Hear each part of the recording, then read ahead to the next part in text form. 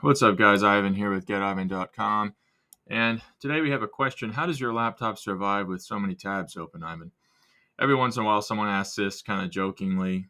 Um, for one, I don't primarily use a laptop, I use a desktop machine, and then I have uh, three different uh, remote servers that I use mainly for scraping.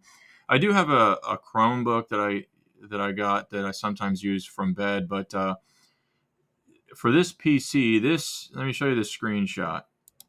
These are my system specs. This is how my laptop or my my PC survives.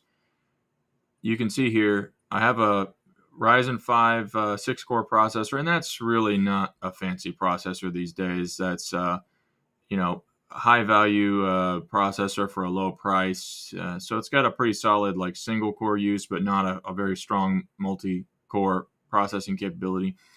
But what's interesting is is that is actually much stronger than most people realize, and this is something that I kind of learned not too long ago. I used to run this machine on 32 gigs, and actually this past week I ran, uh, I upgraded my RAM to 128 gigs, and um, it makes a huge difference. Look at this uh, system spec right now. So with all this stuff open at the moment, I'm utilizing 19% of the RAM and then the CPU is maybe at an average of 15%. So, and since that's really even nothing now compared to what's possible. And the main reason I upgraded the RAM is because of how much RAM is required in uh, image manipulation. Like with Inkscape, I was having lagging problems for a long time if the file got too large. And I've been using Adobe After Effects recently, which uses a huge amount of RAM because it actually stores the images in sequence inside the RAM.